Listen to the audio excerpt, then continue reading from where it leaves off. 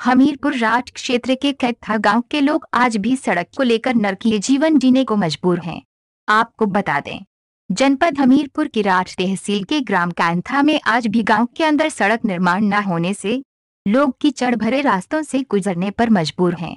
ग्रामीणों ने बताया कि सड़क निर्माण की मांग काफ़ी अरसे से की जा रही है, लेकिन उन्हें हर बार सिर्फ़ आश्वासन ही मिलता है। ग्रामीणों ने बताया कि स्कूल जाने के लिए छोटे छोटे बच्चे भी इसी रास्ते से होते हुए स्कूल तक गिरते गिरते जाना पड़ता है। सबसे ज़्यादा दिक्कत वाहन चालकों व महिलाओं को होती है, जिन्हें इस कीचड़युक्त सड़क से निकलने में काफ़ी परेशानियों का सामना करना पड़ता है।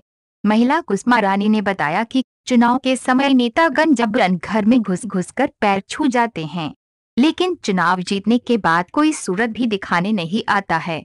ग्रामीणों ने इसकी शिकायत कई बार प्रशासनिक अधिकारियों से भी की है और सड़क का निर्माण कराने की गुहार लगाई है लेकिन अभी तक समस्या का निराकरण नहीं हो सका। एमपी न्यूज़ कास्ट हमीरपुर से जिला संवाददाता दिलीप कुमार।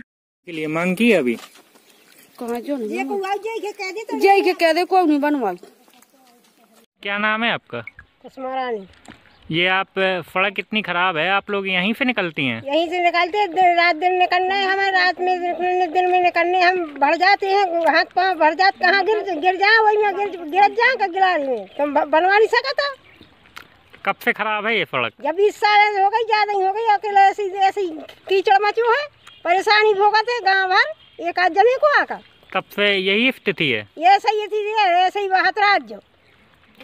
क्या आप लोगों ने कहीं शिकायत की सड़क बनवाने के लिए मांग? शिकायत जैसी आई जे शिकायत कर दी तो नहीं करता सो क्या करे हो आओ थे दिख जाते भग जाते कोई हिम्मत नहीं पाए बनवाएगी। चुनाव के टाइम पे सब पूरा हाँ? ते भैया पाँव पल्ले ते भैया पाँव पल्ले पड़ गए भीतर बड़े बड़े थे चुनाव जीत गए सुबह के बाप को फिर नहीं कोई देरी देखन। अच्छा चुनाव जीतने के बाद फिर नहीं कोई देरी देखन ये कहाँ है? क्या हुआ इस